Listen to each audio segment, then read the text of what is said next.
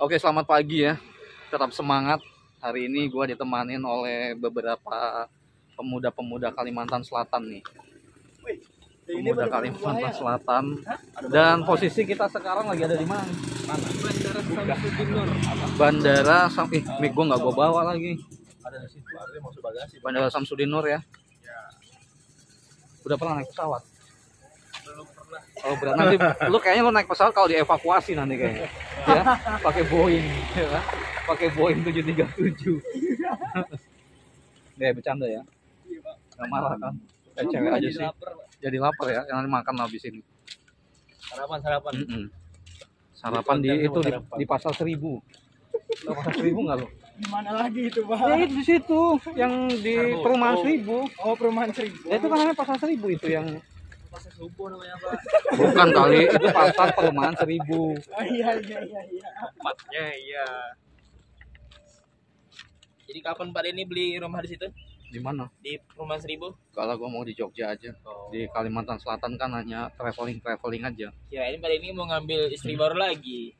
Ini bagiannya di sini gua cut. Bagian ini cut. Ya untung ada editing kan. Jadi bagaimana Pak perasaannya selama Bapak ada di Kalimantan Selatan? Ah, Kalimantan Selatan nih kalau untuk kotanya kota agamis lah ya Mm-mm. orang-orang yang eh, suka dengan nuansa agamis Nuansa Kalimantan agamis Selatan- ya. Selatan ini bagus ya Tapi Bapak eh, pengalamannya seperti apa selama traveling di Kalimantan Selatan? luar biasa ya Mm. luar biasa sekali Kalimantan ini ya banyak sekali toko-toko kalau masyarakatnya ramah-ramah lah ramah-ramah Ramah-ramah. ya kan ya kalau cuacanya tuh ya kadang-kadang panas kadang-kadang Tropis ya, kayak cuaca tropis ya. Iya, tiba-tiba hujan gitu. Hmm, Ya, benar. jadi harus siap-siap payung. Mana-mana harus bawa payung. Tetap semangat ya Pak. Semangat. Tetap harus semangat. Hidup terus berjalan. Hidup terus berjalan Pak ya. Nah, hidup itu perjalanan bukan Hmm. pelarian. Mm-mm. Kalau pelarian ya dikejar anjing gitu. kan. Oh, Iya Pak benar Pak pelarian. Sekarang ini kita harus mengejar mimpi ya. Oke masih di Bandara Di- Samsudin Nur ya. Di kesempatan pagi hari ini suasananya mendung dan ini dalam rangka mengantar sahabat untuk perjalanan pulang ya. Ke Palembang. Transit ya. Banjarbaru. Transit Jakarta ya Pak? Surabaya. oh transitnya Surabaya. Juanda ya. Lama juga transit. Oh saya pikir transitnya ke Jakarta enggak Transitnya Surabaya. Paling ini perjalanan paling lama gua nih. iya ya Wisata Dirgantara namanya. Wisata Dirgantara ya.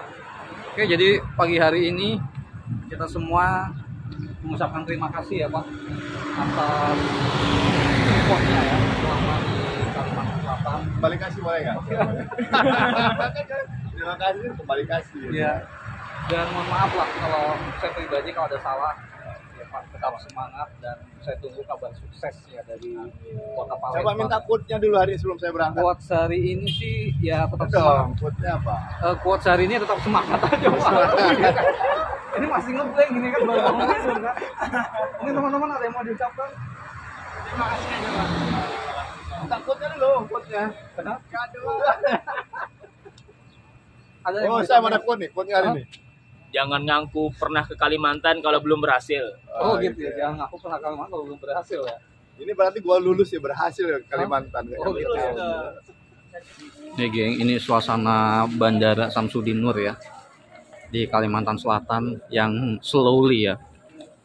Ini hidupnya enaknya begini nih, nggak terlalu rame, nggak terlalu banyak orang gitu kan. Kalimantan nih, Bos. Hmm. Selamat datang di Kalimantan Selatan ya. Dan kalau mau tahu pemuda-pemuda Kalimantan Selatan nih, nih, ya kan, ini kan, Semangat Kalimantan Mm-mm. Selatan. Tanya-tanya dong, Kalimantan Selatan ada suku apa aja? eh, oh ini habis konser kayaknya. Gua berangkat sama Aman tadi bawa pulang nih Mas. ah. Sama Dani. Oh dia habis habis Nah, konser dia ya. kan Jakarta, gua kan Ini krunya ini. Nah, kita di sana berdingin sama. Oh, timnya itu dia. Nantilah kapan-kapan gue terbang dalam rangka ini seminar, bukan penugasan. Dulu ah. Saya mau ke ATM dulu, Pak. Ada dalam. Eh, jadi seperti ini ya suasana di Bandara Samsudin Nur, Kota Banjarbaru. Ini adalah terminal keberangkatan sih. Di situ tempat check-innya. Dan gue baru dari ATM Center ya. Jadi kalau ATM Center ini posisinya dekat dari Alpha Express. Sekarang gue mau keluar ya, karena gue bukan mau penerbangan sih hari ini. Cuma ngantar teman aja. Ini bandaranya besar, bagus ya.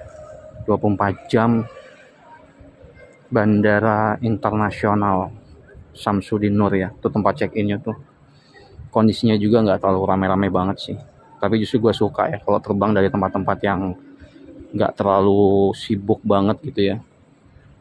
Dan sekarang gue mau keluar ya ini pintu keluar nih ini exitnya nih.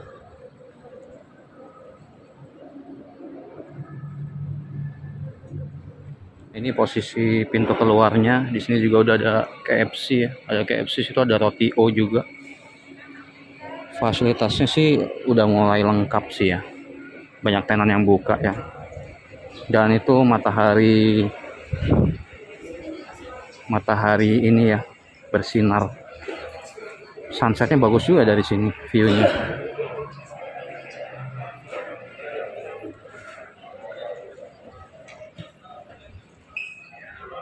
Nah, ini bagus nih. Suasana pagi ya. Ini kayaknya bagus nih buat foto-foto nih. Tuh. Matahari terbit ya, sunrise. Jadi ini masih jam 6.30 ya. Setengah tujuh pagi. Beginilah suasana di Bandara Samsudin Nur ya. Ini bagus juga nih sunsetnya nih, geng. Nah, kalau tampak view-nya seperti ini, geng. Nah, ini view-nya nih.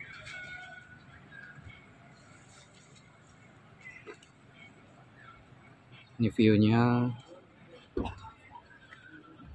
Kayaknya bagus nih foto-foto di sini. Matahari terbit di depan Bandara Samsudin Nur, Kota Banjarbaru, geng. Ini tahun 2023 di bulan Juni ya, geng. Oke, sekarang kita sedang berada di daerah Bandara Samsudin Nur ini di tempat check-in ya. Di tempat check-in. Dan thank you banget ya buat lu semua yang sudah nonton video gue kesempatan kali ini. Tetap sehat semangat. Kita berjumpa lagi di video berikutnya. See you next time.